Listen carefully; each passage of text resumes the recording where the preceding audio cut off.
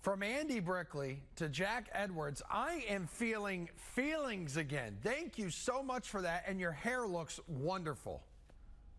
Thank you. Thank you, Emerson. You know Got how the beautiful flow that- going. That's right. All you need is a nice little bucket on the top now. We can just Yeah, see the flow it's, it's going. been about 25 years, but I'm keeping this. You know, this may be the last time it gets this long, so I'm Mm. Yeah. keeping it. To be young and in love again. Well, since you are here, my friend, let's rip and react. We're going to play a little bit of uh, sound from Boston's media availability today, and then you're going to react to it. And first up, Zdeno Chara on what life will be like inside the bubble in Toronto. you won't find perfect solution that's gonna be perfect for every team. Um, but you know, we we basically approach it every you know, we have a chance. That's what we have. All right, what do you think? Well- yeah, it's not going to be perfect, but the B's have a chance, right?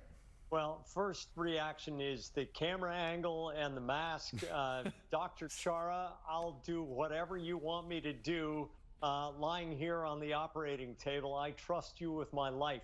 Um, you know, what do you expect from the captain? Um, he's a great leader. He leads by example, he leads by doing, and he is focused. And this team's ability to focus is perhaps unparalleled in the entire NHL.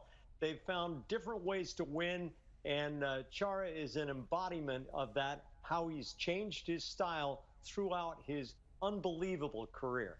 Yeah, safety first. Got to make sure you don't catch COVID through Zoom here. Uh, then there's David Krejci, though, who's digging how everyone is looking early on. This guy's been skating for weeks now. Um, even before that, they, they've been working out. So uh, we believe that everybody came in in a really, really good shape. And yesterday we had a really good first practice.